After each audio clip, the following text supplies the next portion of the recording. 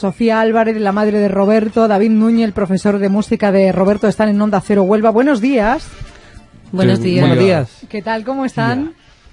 Bien. Yo tenía muchas ganas de conocer a Roberto, eh, Sofía, también a usted, porque vaya, vaya historia la de, la de su hijo, ¿no? ¿Cómo la definiría usted? ¿Cómo definiría usted a Roberto, Sofía?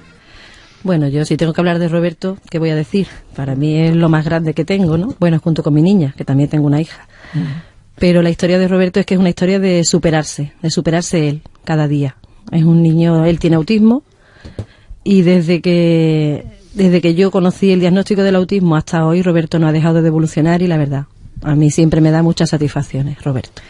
Eh, teniendo en cuenta que, que- que- empezó a hablar um, a los siete años, Con un lenguaje ya funcional y con comprensión, sí. Él empezó, diremos que antes, ¿no? Porque Roberto está trabajado desde siempre. Muchos profesionales han pasado por sus manos, en el, en el colegio fue muy bien atendido, pero que desde que lo que él tener lenguaje funcional y con comprensión a los siete años, sí. Bueno, y a ver, em, profesor David eh, Núñez, eh, profesor de música de Roberto, ¿cómo, con, esas, con esos problemas para, para hablar, cómo consigue que, que Roberto, por cierto, está por ahí? No sé, ¿es posible saludarlo? Sí. Él está Está por aquí. Dile, a ver si te saluda. Hola, Roberto. No. ¿Qué tal? Pero, díselo bien. Bien. Muy bien, estás en Huelva, ¿eh? En Onda Cero. ¿Habías ido a la radio? Un ciudad radio. Yo sí ahí. Muy bien. ¿Ahora nos vas a cantar algo? Yo sí. Ah, fantástico, pues estoy deseando escucharte. Digo, David, ¿cómo, cómo consiguió? A ver.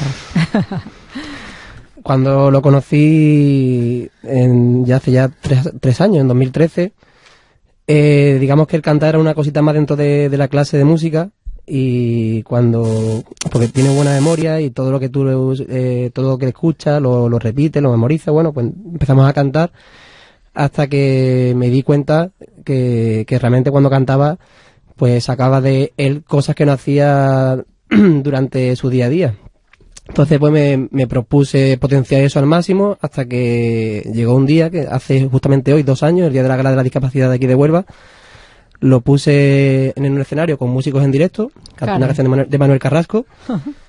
Eh, y bueno, ya la conexión con el público, con la conexión con los músicos, eh, la interacción eh, animando al público a, a que me aplaudiera, eh, las miradas, esa complicidad con, conmigo, con los músicos, pues me planteé que tenía que cantar sus canciones, porque veía que además de, de disfrutar como disfrutaba, pues era un canal de, para él de comunicación increíble y me propuse, pues bueno, que cantara pero sus canciones. Y dos días después, día 5 de diciembre, pues le hice una canción muy bonita, Siento, que va dedicada aquí a, la madre, a la que se le caían las lágrimas. ¿Se puede imaginar? A ver, a ver cómo suena, a ver.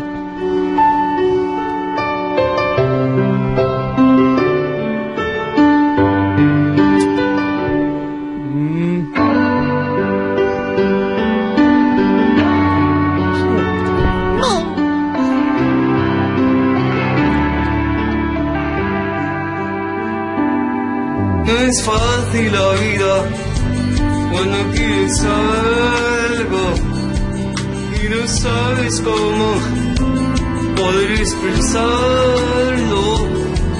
La gente piensa que no entiendo, que me cierro en mi interior y no siento y no sabe que todo es mucho más complejo.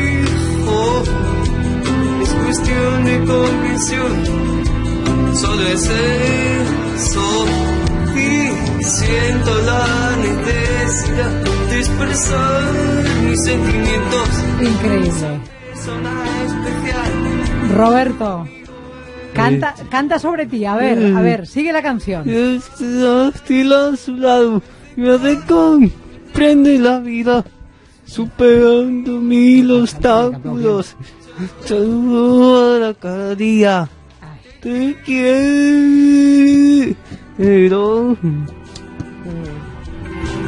Te quiero.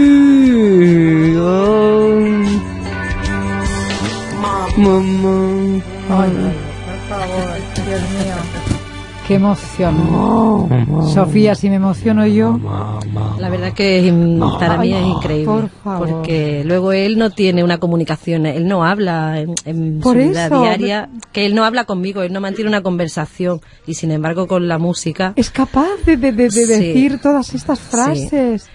Y aparte, Siguiendo este- unas este- eh, notas. sí, total. Además, mira como tú le has dicho, sigue la canción y es que la música, él la vive, o sea que él Ay, se le mete dentro, como yo digo, y, y le saca ahí. Además, es una felicidad. Si le vieras la cara, está súper contento. De cuando suena la música, es Ay, otra persona. Hazle una fotografía y me la mandas, Sofía, por favor. Ahora te ¿eh? la mandamos. Y conocemos a tu niño. Ay, Pues por sí. favor. Pero, y entonces, pero ¿qué estudia? ¿Solo música? ¿Ha podido seguir otros No, él, no, él está en, en un instituto, está en un instituto ordinario, pero dentro de una aula específica, en el Alto Conquero, aquí en Huelva, y, y la verdad muy bien. Está junto con cinco, son cinco compañeros, cuatro y, y él, y está muy bien. Es una clase fantástica, un instituto fantástico, y él va, vamos, que está muy integrado can- dentro. Sigue a su- cantando.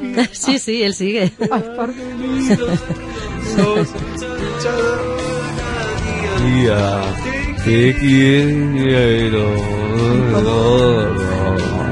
Ahora por abajo. Increíble. ¿Cuándo tuviste el diagnóstico, Sofía? Ya desde pequeñito se nota más de los antes de los dos años ya se ve que algo está pasando. Él empezó a hacer una serie de cosas como empezaba a bucear, señaló una sola vez, me acuerdo perfectamente y ya luego no señalaba, total.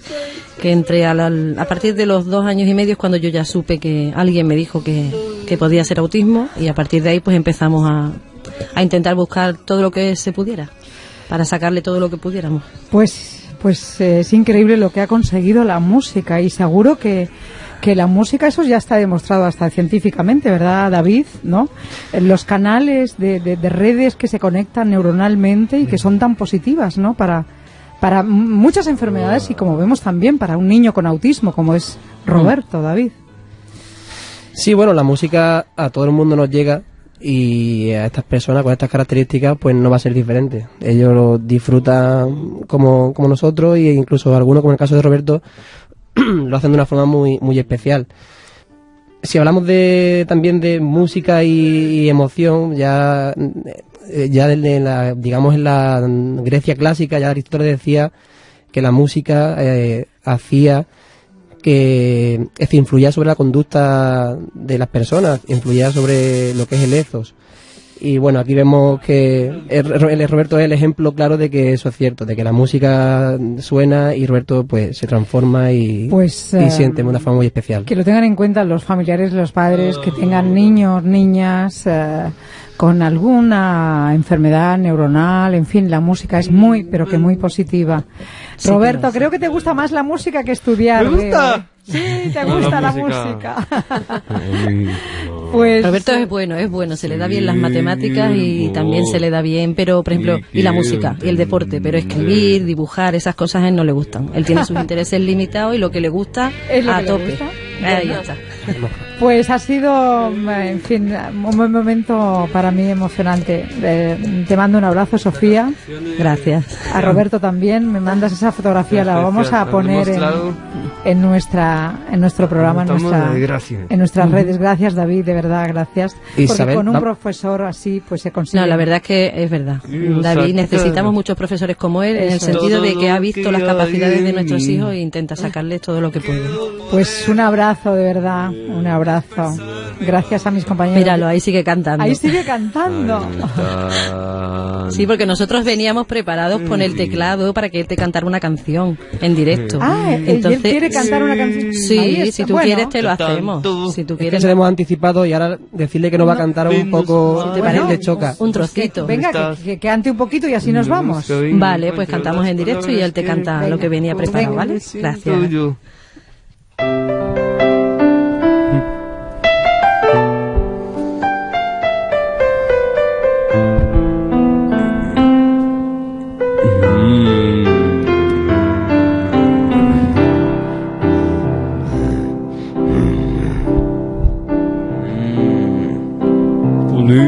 palabras me dirijo a vosotros. Nada cambio, nada. Os hablo desde el corazón, la sinceridad más profunda. Es mi respeto y mi admiración que la apariencia nos confunda. Es el apoyo que necesito. Es posible que avance. El trato siempre más exquisito. A pesar de todos los malos percances. Canto con cariño para ti, regalándote esta letra. Para que sepas que te quiero, aunque a veces pueda perder la cabeza. Te doy mi palabra con Isabel Gemio.